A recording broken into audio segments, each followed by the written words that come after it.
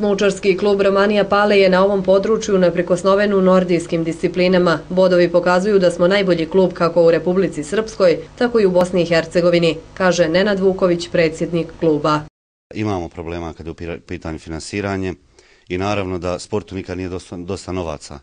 Međutim, evo, e, entuzijasti koji su u samom izračnom odboru kluba, ali i članovi skupštine kluba, pa i neki roditelji pomažu klub i zajedno sa onim što finansira opština i grad Istočno Sarajevo, mi, ovaj, da kažem, radimo jako dobro. Ali s druge strane, nezadovoljni smo kad je u pitanju finansiranja od strane uh, Republike Srpske, odnosno Ministarstva za porodicu, omladnu i sport u vlade Republike Srpske, i kad je u pitanju uh, finansiranje s nivoa Bosne i Hercegovine, kad su u pitanju reprezentacije. Predsjednik Skupštine Smučarskog kluba Romanija Miro Đukić podsjeća da članove kluba ubrzo očekuju ljetne pripreme i takmičenja. E, ljetne pripreme će početi sada u ljetnom kampu u Trebinju. Poslije toga naši će takmičar ići u Bugarsku na pripreme, to će sve o trošku kluba.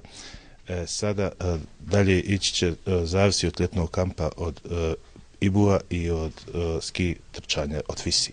Na redovnoj godišnjoj skupštini Smučarskog kluba Romanija istaknuti su planovi za narednu sezonu, koja je ujedno i predizborna za olimpijske igre u Sočiju. Romanija trenutno ima četiri kandidata za olimpijadu, Stefana Lopatića, Marka Starčevića, Tanju Karišik i Ivanu Kovačević.